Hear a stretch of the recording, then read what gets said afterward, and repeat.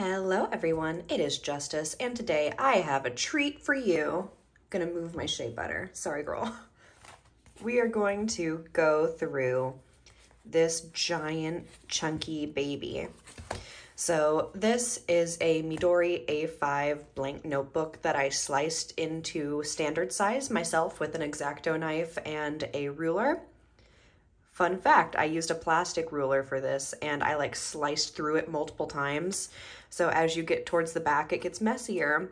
And it's because I had a plastic ruler with multiple jagged edges. And so my X-Acto knife would keep catching.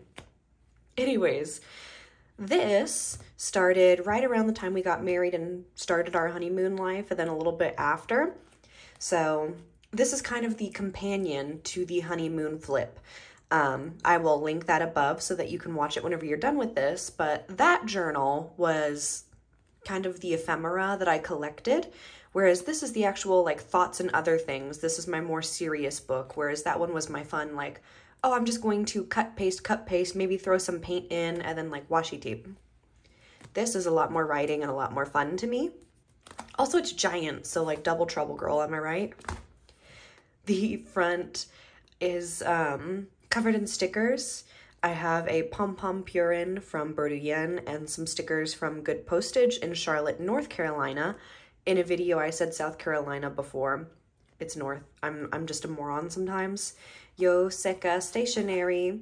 These two are also from Good Postage. I love Cafe Bustelo and a Niagara Falls sticker. This has held up really well. It even withstood um, a coffee spill, which may or may not have sent me into a panic. And this binding is really nice. On the bottom, it has come out just a little bit, but in the top, it is there. So you can see how chunky she is whenever I just like let her go. I would say that the Midori notebook has been amazing. And you may hear jingles. Little Lulu's playing and I'm not to stop her because she is amazing. Okay. I'm to have to blur that.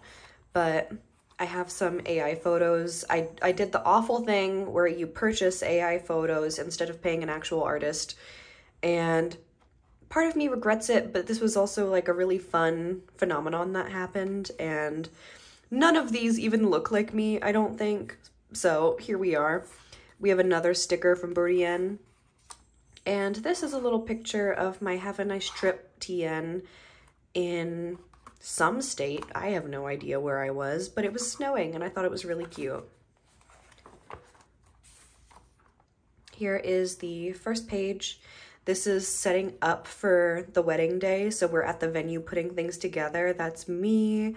Um, me and my friend Lucy, we actually showed up wearing the same exact pants from Hot Topic that have Sailor Moon patches on them. So that was fun. That was really cute. This is a, I want to say a postcard from Yoseka that came with my order. And I have never received one of these, so I thought it was incredibly special. More of my good friends. This is from the same day we went to Popeye's fried chicken for lunch. We were all so tired and so hungry, so we like stopped around one or two o'clock and we all just kind of ate like zombies. This one's a bit less fun. You can see the finished venue here. Me and my mom. Me and Danny. Little love note to myself for later. And I know that there's a lot of blank space here, but like I couldn't think of something worth putting there, so I'm just calling this done. And let's see, packing. So we packed for a honeymoon. Um, what we did is we loaded up into a van and did van life for a solid month and drove all the way around the country in a circle. We went right around 11,000 miles in 30 days, just a little bit under. And that was so hard. It was so hard to do, but it was amazing. First place we stopped was the. Unicoi Adventure Park. next big place, we of course like slept a couple other places, but we went to Virginia and we went to the Spy Museum in Washington, D.C. while we were visiting my auntie. This igloo here is a wedding gift from two of, two of our very good friends. They got us an insulated backpack, which like I never even knew those things existed, but it came so in handy because we were able to use that for like going out places. It's going to be an amazing picnic bag in the summer as well. So it worked out. Plus it's black and gold and you know, those, those are very nice colors to me. We brought a Yuengling label with us. We didn't bring the Yuengling beer for some reason, but we definitely brought the label. Um, you know, priorities from a scrapbooker. And this is from Good Postage in Charlotte. You know, same place as this I had such a great time here. It was the first time that I had ever been anywhere that has travelers company things, um, other than whenever I was in China. So first time when I was in the States that there was traveler company things, and the first time that I was at a partner store at all. So I stamped it. I was so happy, and they were telling me because I was you know, spouting off nonsense because I was so excited to be there. They were telling me that they had just gotten their partner stamp the day before as well. So I was like, oh my gosh, I am so happy about this. And the way I found it too is I'm on the email list for Travelers Company. And so they did an email blast with new partner shops. And I saw that North Carolina was there and we were like going up the states. So I was like, oh my gosh, we need to go. Please, this is perfect. It's literally serendipity and they were incredibly nice to me. Halloween. My aunt made me a coffee with little hearts in the milk foam. Oh, so sweet.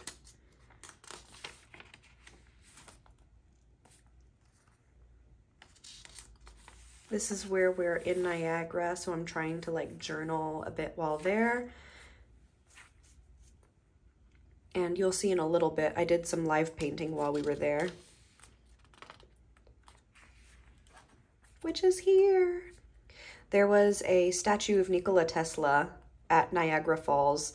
And one of my favorite things to do is to just paint or draw statues because statues don't move, but it's still kind of like a life drawing. So I did this really quick.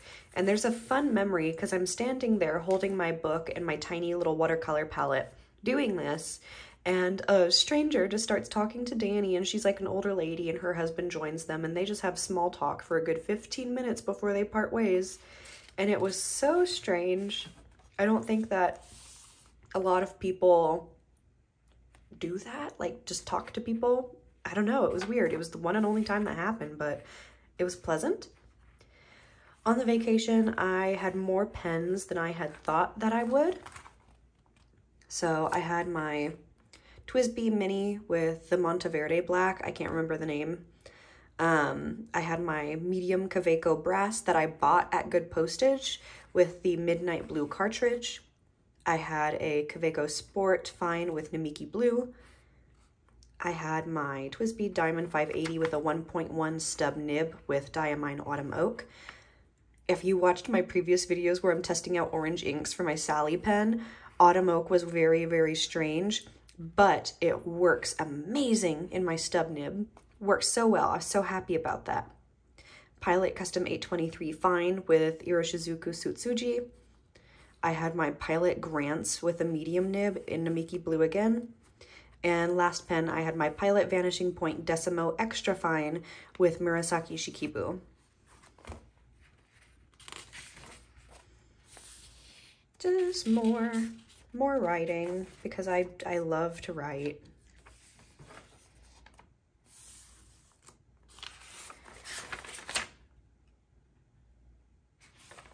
I should blur this out. And a little drawing.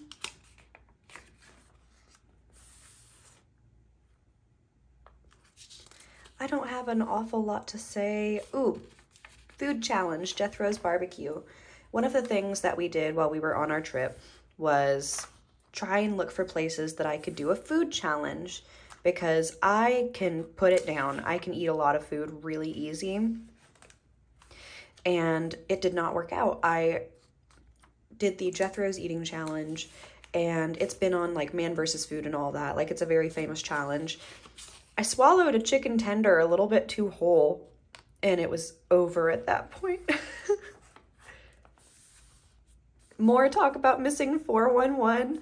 Um, this had to have been written while we were in Zion. I absolutely thought that we were being hunted by something being protected in the Zion Ranch, or the Zion Mountains, rather. We were staying at the Zion Ranch, but I felt like unsafe in the mountains.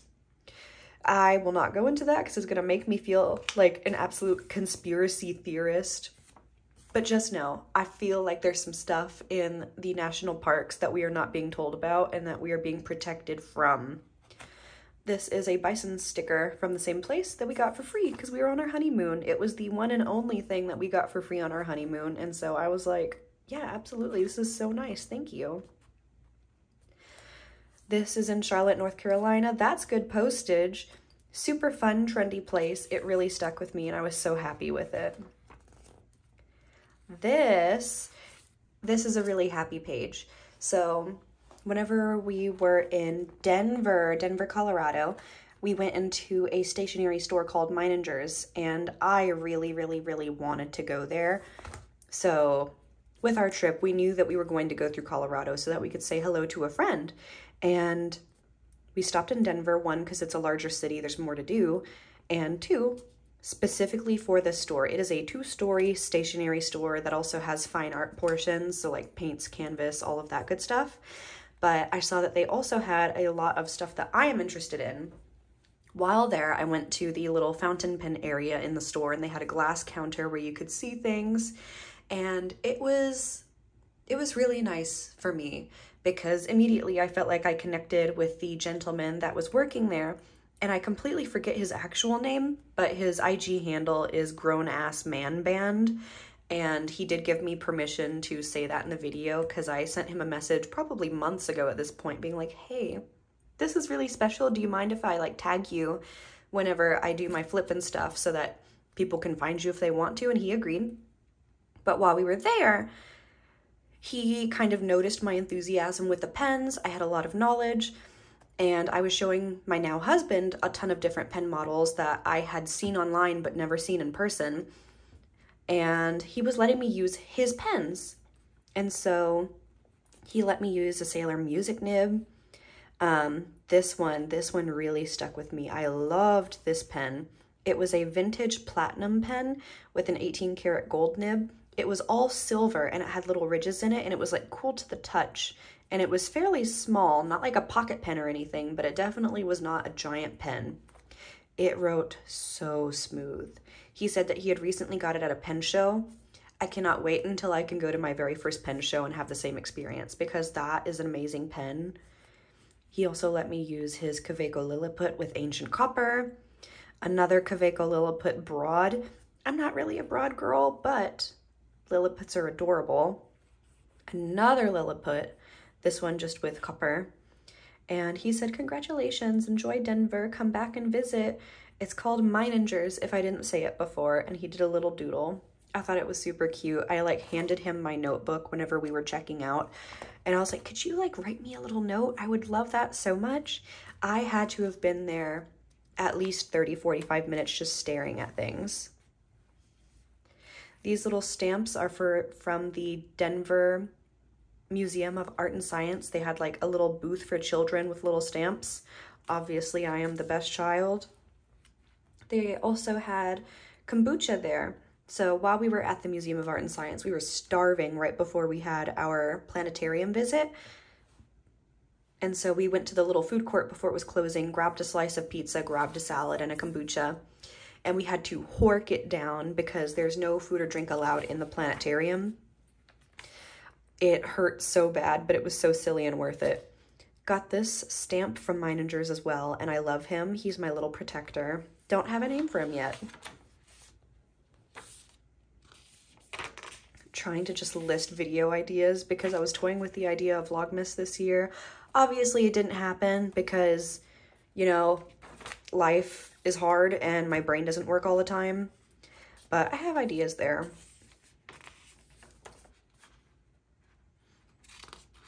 This is when I got my Kaweco L Sport in Ruby and my Kaweco L Sport in Iguana Blue, and I got some cartridges to match them. Super cute. I love those little pens. If you also follow Toxic Tears, I love her. Um, I am definitely alternative and I followed her for many, many years. And so there was like a whole YouTube drama thing. I love her, I support her, and I highly, highly doubt that she's watching my video considering that I am nowhere near that space on YouTube. But just know I feel for you, girl. We got some tarantulas for the first time. If you don't know what they are, if you're an adult, look it up. I'm not going to say anything. I had some Pentel Energel testing here from the giveaway I won with Atlas Stationers over in Chicago. Shopping list, stuff in the fridge I need to use. Sometimes my brain doesn't work, so I have to just write it out. My Goulet packing slip. More pictures from the honeymoon. This is at my auntie's house. She has a lot of dogs. This is our dog, Mr. Diesel. He stole the show and tried to take their little bed. And this is Yuma the cat. I fell in love with her. This is Yule log from the Diamine Inkvent calendar. I need to use it in a larger nib. It's a shimmer, and so it kept getting stuck.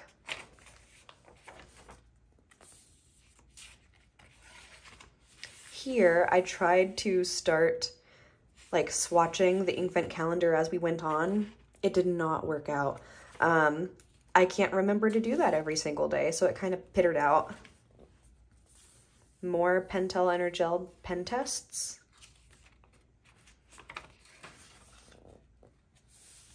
This is a name tag from a Christmas party we went to. More pen tests. I've gone through so many stamps.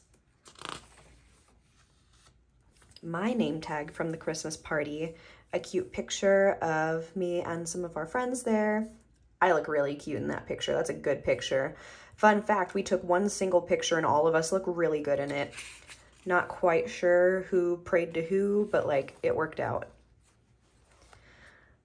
Testing some mechanical pencils. I had my sister's baby shower. There was a beautiful charcuterie board and some delicious little cookies. Here's me going into FODMAP. I have a really sensitive stomach and I kind of just deal with it but I've been trying to do an elimination diet and I have found out that I have so many things that hurt my stomach from this list and I'm really bitter about it because I am a foodie, I love food, I am a big girl. Um, I also love to cook. So knowing that a lot of things that are delicious are no longer in my foods that are safe category, it does hurt me, but I'm not gonna just abide by a FODMAP diet. It's just going to be, oh, well, I've had gastrointestinal distress for a solid week. I should probably calm it down, right? Right. This is a restaurant in Virginia called Jackson's. One of the fancier restaurants that I've ever been to. Um, my auntie and my cousin went with us there, and it was a really nice experience. We hung out with my friend Lucy for International Lolita Day. Um, if you know about Lolita fashion, then you're going to understand. If not, then I'm going to clarify this really quick. Lolita is a fashion style that came out of Japan based off of Rococo and Victorian styles, mostly Rococo. It is based in like anti-sex because people did not want to think that their lives were just going to be being married off to men. So they decided to start dressing up how they wanted to as an active form of rebellion against having to marry and just be adults. And it's it's essentially like punk rock. It's very punk rock, but very girly. It is in no way, shape, or form connected to the book Lolita by Vlad, Vlad, Vladimir Nabokov. Is that what it was? It is not connected to that. It is not related to pedophilia or sex sexualization of children in the least. So please know, it is a fashion. It is not connected to any of that. We saw some geek lights, we baked some cookies, and she showed up in a really cute cord. Went to another baby shower. One of our friends is having a baby. And this are some pictures from hers. Um, it was set up. It was gorgeous, and I absolutely took some doggy bags. Some more pictures from the vacation. This is about when I actually got out my HP Sprocket and started like actually printing everything. Mr. Diesel got a sock in one of our hotels. Someone left their sock in the laundry room, and so I just went ahead and claimed it for him. And it was so cold, he just wore it. And I was like, oh my gosh, we should probably get you like an actual pair of socks because you're kind of enjoying this. Remember when I said that foods hurt my stomach and I don't care? I'm lactose intolerant and these are some cheeses I bought. Cute little postcard from Meiningers. talking about morning routines and how much I love the cats and the dog. Traveler's Diner. Oh my gosh. I don't think I'm going to do an entire video on it just because I, I don't think that I can get an entire video's worth of content from just talking about an announcement. But the amount of joy that I felt whenever this came out, so happy. I happened to book an event at another partner shop just to find out that it's going to be a traveler's diner event. Oh, I am so happy about that. I went ahead and pre-ordered this little set. There's no way I couldn't. You know me, I am like hyper fixated on this brand. I simp for this brand and I don't get it, but here we are. I had to just write about how excited I was. Another little drawing. This is with a glitter highlighter, by the way. You can buy the set from Jet Pens, just glitter highlighter. I think there's four or five.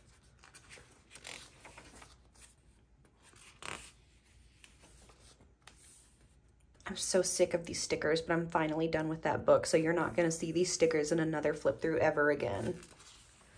I finally used them up.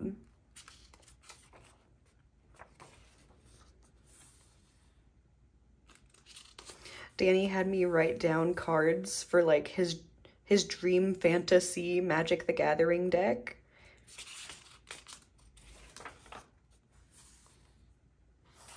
I did a Sanrio order and got a really cute Christmas card for one of my BFFs. wrote down a sugar cookie recipe. I haven't tried it out yet, but this is supposed to be like a rival to the grocery store sugar cookies where they're kind of soft but kind of fake, but you can make them yourself. Oh my gosh. More talking about YouTubers that I follow because YouTube is like my main source of entertainment throughout the day. Jenna Marbles and Julian got married. I followed Jenna back whenever she did videos for Bar Barstool Sports. So like I've been there for a while and it broke my heart whenever she left the internet, but I completely understood why. It's because of people not necessarily like me because I wasn't showing up at her house like an absolute psychopath, but I absolutely felt like she was my friend, but she had no idea who I was. Parasocial relationships and all of that. That being said, I was completely overjoyed to see that she and Julian got married and the dogs got to participate and Mr. Marbles was there. I like sobbed. I sobbed seeing these. It just made me so happy. I am so happy for them both. Oh my gosh, this is talking about Ozark, the TV show. Um, there is a particular scene, I think I'm in like season four, and it was just rough. It was really rough. It stuck with me. There's few things that I can see in media that will actually like shock me to my core and stick with me as an image. Particularly as someone that grew up with a child, grew up as a child, pardon, of a mom who loved like CSI, NCIS, dead bodies, blah, blah, blah. So there's, there's like very few things that will actually get to me that scene really got to me. The Diamine Inkvent Calendar. This is my first time participating. I bought this at Meiningers as well, so it was extra special to me. Um, here are all of the swatches. By the time this video comes out, it will be well after Christmas, so like, we're gonna be good. My favorite spruce. I don't really get the scented bit. I can like smell it a little bit, but it's a very wet green ink that kind of sheens red. Think of it, well, I think of it rather, as um, like Emerald of Chivor minus the glitter. So it's a bit more behaved and less blue. So this is a really nice Christmas ink. Um, I also really like the color of Dusted Truffle, but I haven't put it in a pen yet. I'm afraid it might be dry. No idea. Upon a Star, the Chameleon ink, obviously a winner. Serendipity as well. Pick Me Up is okay. It's kind of like baby poop. We'll see. Same with Olive Swirl. Arctic Blast. Ooh, I have not owned an ink like this, but I've heard that um, Diamine, I think it's Arctic Fox. Pens and Tea talks about it fairly often. I think that that may be fairly similar to this, but it has like this very, very light blue shimmer that I love. Best Wishes is okay. It's got a really cute green shimmer, so whenever I use it, I know it's going to be in a bigger nib, probably my stub nib. A lot of the colors I wasn't a huge fan of, like Bliss, Ghost, mm, Cardinal, Apple Teeny, Cozy Up, One More Sleep, Celebration. I think that those are all going to be too light for my eyes. Um, so whenever I use them, I'm going to try to set my myself up for success with a big wet nib, but I think that they may be a little bit too light. And here we start December daily.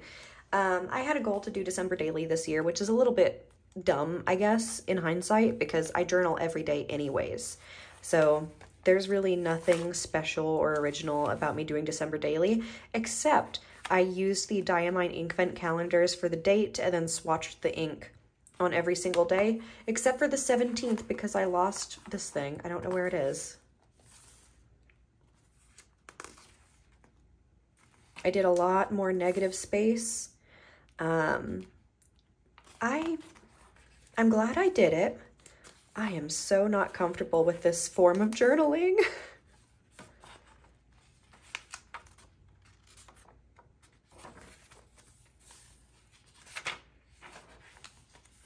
so I'm just to go through this. I love this little tape. Oh.